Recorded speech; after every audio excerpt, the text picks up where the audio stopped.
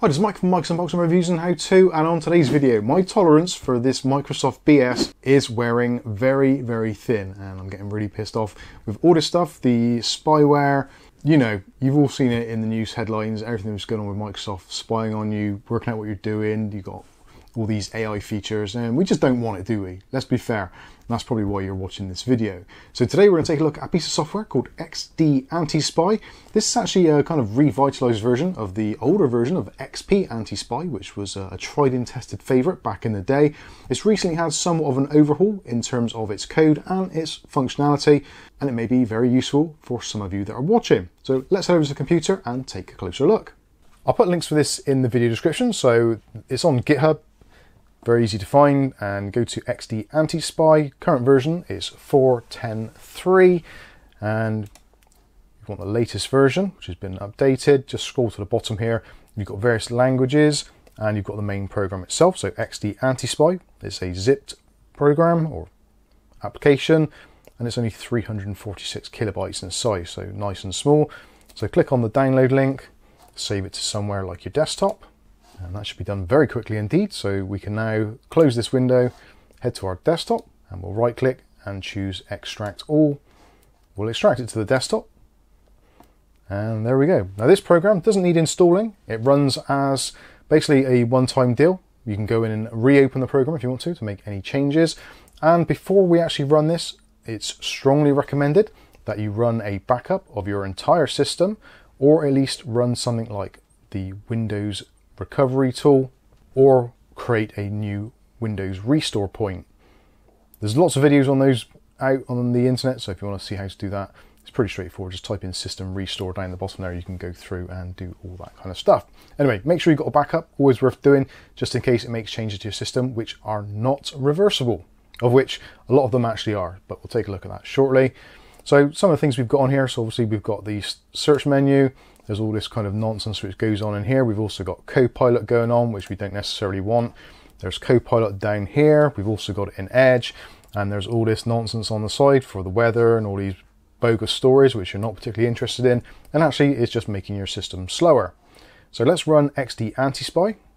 Right click, choose Run as Administrator. It'll say that it's protected your PC. So just choose Run Anyway.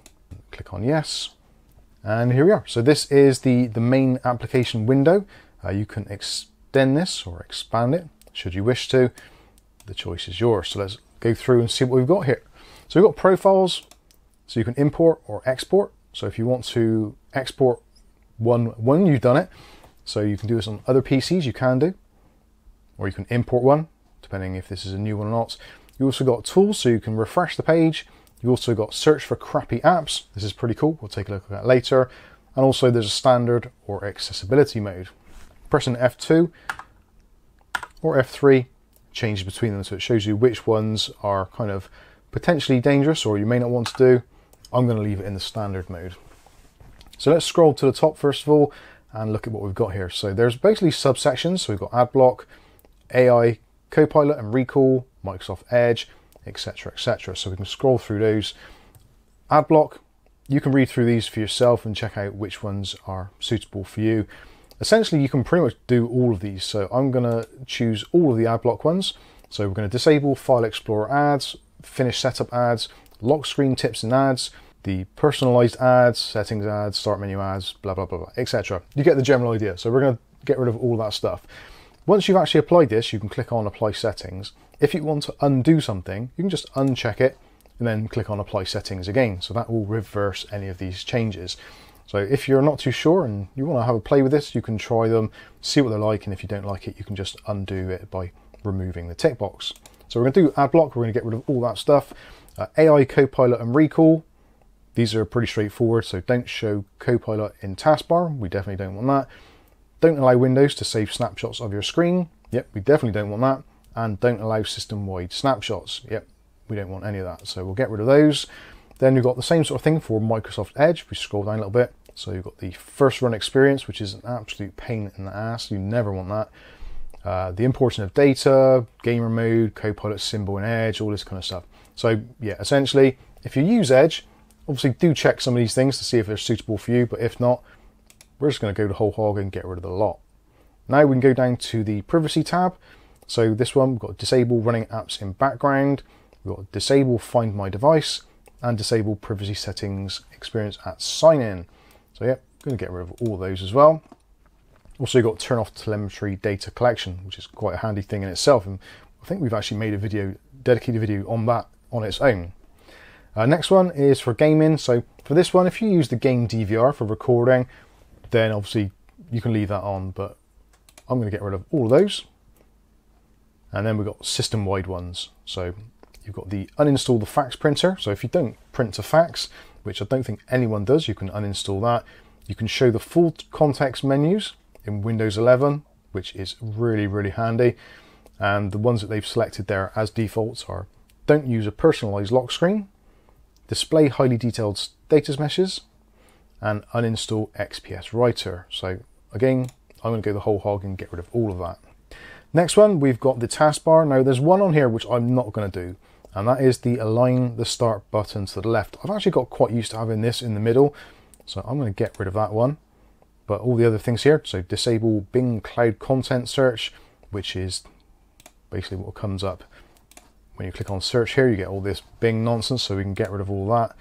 Uh, hide most used apps and start menu, pin more apps and start menu, hide chat icon, task view button, widgets, search box, blah, blah, blah, all that kind of stuff. If you want the search box on the taskbar, then you can leave that in there. Actually, I'm going to leave that as well. So we'll get rid of those and I'm going to keep those because I personally like that. If you don't want to, just go ahead and click the whole lot. The choice is entirely down to you. So then we've got other tweaks. So clear the icon cache. That can be quite useful. Uh, hide hidden file extensions. I'm not overly keen on that. I actually quite like to see extensions on files just in case a file is masquerading as something it isn't, such as maybe a PDF or something, which it might not be, and it's trying to get you to click on it. So that one I would be tempted to leave. Uh, also the snap assist flyout, so I'm going to get rid of that and use live theme, we'll leave that on there. And then you've also got enable user account control. Now you, obviously you do want to have that on because that's uh, pretty handy to do. So I think that's going to be it for me. So all we want to do now is click on apply settings and it'll go through and obviously it will highlight various parts when it's done. So yeah, that's looking much better already. We've lost our setting over here for the weather and all that kind of stuff. Copilot is gone and we've got a, a much better search window now, although we've still got it there. I think that goes after a restart or perhaps you have to get rid of that altogether. So let's uh, get rid of the search box there as well.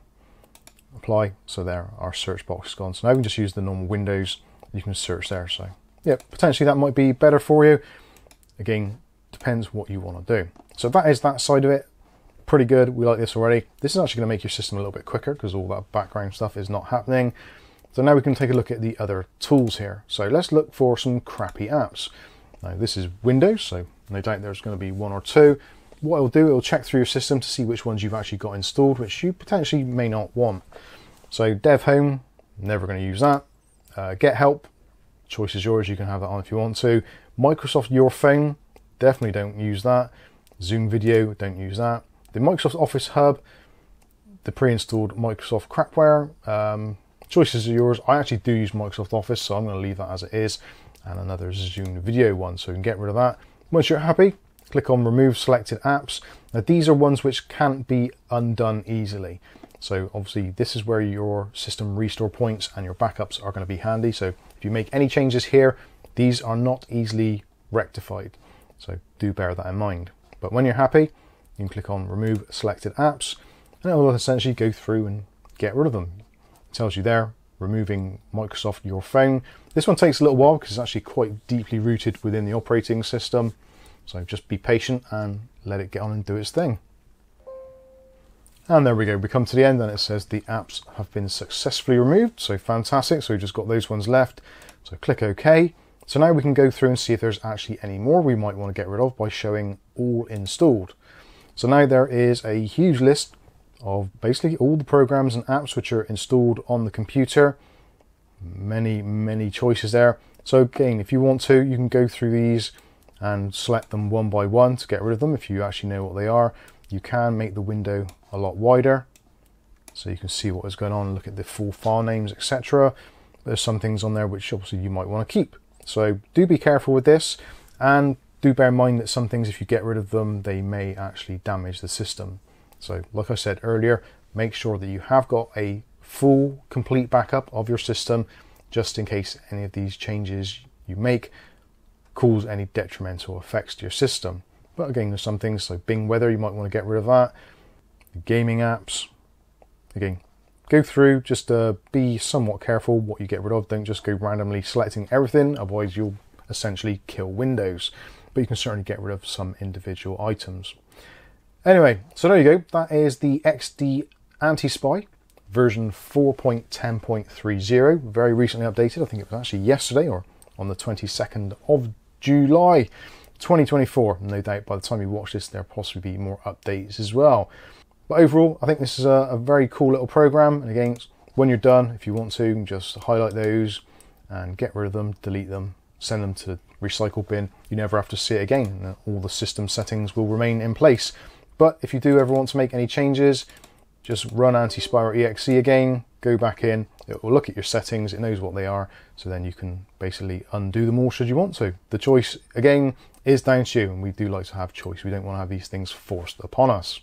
So there you go, there is a uh, nice little program, actually very small footprint. Very impressed with how small it is, very easy to download, and of course you don't have to physically install it, you can run it as a standalone, and if you want to, you can put it on multiple PCs, it's completely free of charge, so that's always a nice thing. But like I said, do be careful, some settings in there cannot be undone, at least not easily, so do make sure you have a full system backup or at least you've run system restore so you can roll back should you make any changes which are detrimental to your system. I think the ones on the front page going to be absolutely fine for pretty much everyone. Like I said, you can actually restore those easily by just putting the tick box back in or removing the tick box depending on your preferences and you're all good to go.